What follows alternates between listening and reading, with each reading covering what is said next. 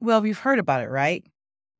Chat GPT, that AI miracle maker, that magical tool that is supposed to take over the interwebs and make everything perfect.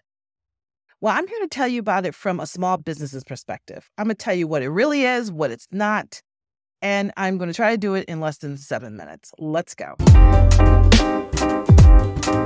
All right, so we are in the Chat GPT Chrome extension called AI PRM. You can add this for free if you use the Chrome browser.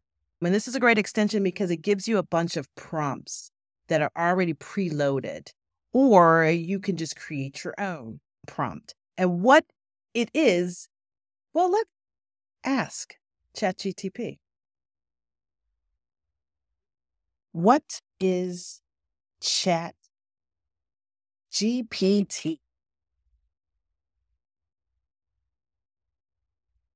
ChatGPT is a large language model. It is really designed to give you human like responses to prompts that you put into the engine, the machine learning engine.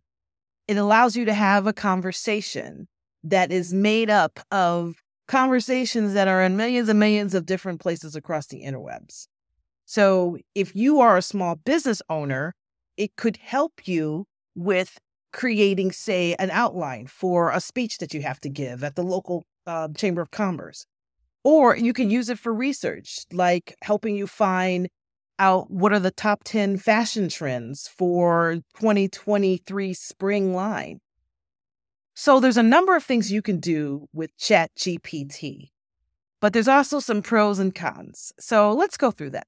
The pros, it does give you a good head start it does provide some basic frameworks. So, if you are looking for certain information, research. So, say that you are a stylist and you want to know what are the top fashion trends for 2023 mm-hmm. spring line.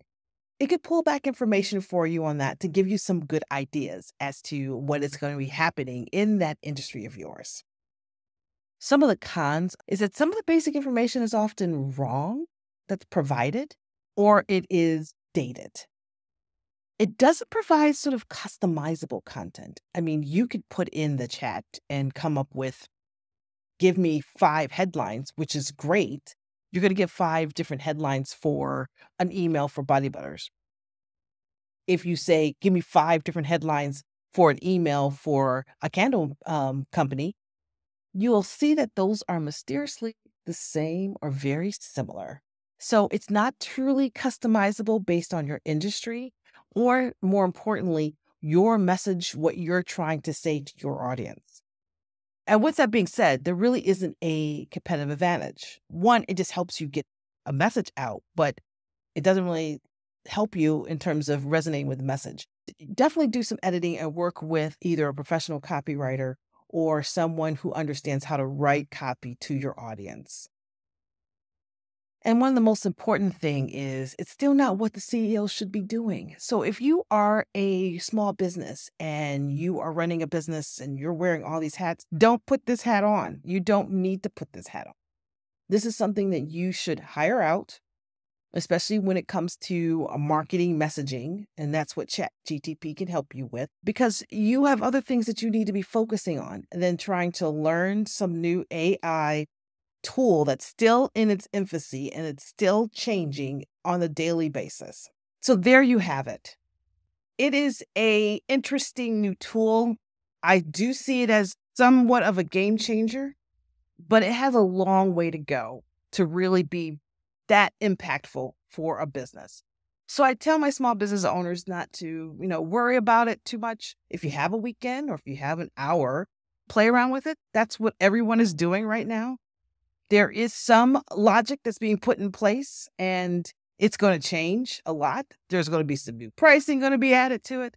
It's the wild, wild west in terms of tech right now. Now you have some basic information and keep doing what you do best. Take care.